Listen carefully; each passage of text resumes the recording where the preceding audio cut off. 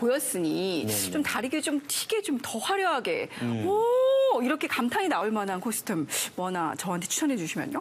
지금 분명히 제가 입지 말라 그래도 분명히 이렇게 허리가 강조되고 좀 타이트한 옷을 선호하시다 음. 보니까 그 안을 그렇게 타이트한 걸 입으시고 이 겉은 아주 긴 망토로 가리듯이 어. 그리고 어디 등장했을 때 쫙. 어, 이러면서 그렇게요? 극적인 반전을 맞추시면은 어, 최고의 콤비네이션이 될 것 같고 이제 우리 승현 아나운서님은 예. 지금 silver tone과 저 화이트가 돋보이잖아요. 네. 이 면사포로 온몸을 도배하세요. 아, 그러면 뭐예요? 음. 면사포로 온몸을 도배하는 뭐 신부? 신부? 유령 신부?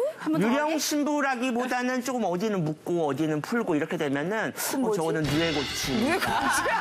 저것은 혹은 눈이 굴러서 쌓인 눈사람의 무엇인가 뭐 예. 예, 다양한 컨셉을 이 망사는 이걸 어떻게 하느냐에 따라서 다 모양이 달라지거든요.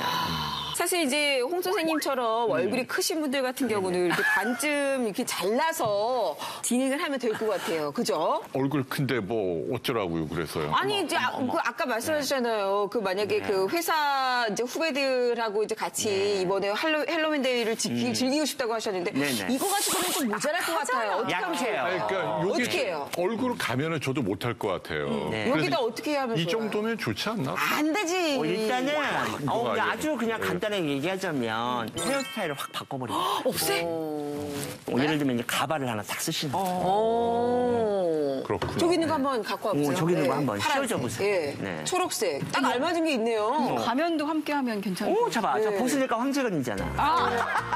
아니 설마 이거를 저한테 예, 살짝. 네. 어, 예. 제가 머리가 좀 크거든요. 예. 안 들어가요. 확실히 다른 분이네요. 네, 확실히 다른 분이네. 꺼볼까요? 어, 살짝 태양약시. 예.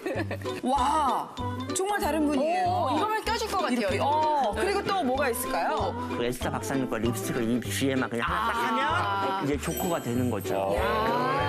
조커 말고 이제 어, 해커로. 네. 차려입고 이제 음. 준비 다 했어요. 그런데 갈 때가 어 나 어디 가지? 집 앞엔 고요해. 어. 어디가? 어디가? 좋을까요? 네. 네, 우리 집으로 오세요. 농담이고요. 이태원 으로 이제 많이들 가시는데 그곳 말고 이제 가족끼리 가는 곳도 있어요. 어디요? 바로 놀이동산 같은 곳을 가시면 됩니다. 벌써부터 시작했어요. 모 월드, 모 랜드를 가시면 되는데요.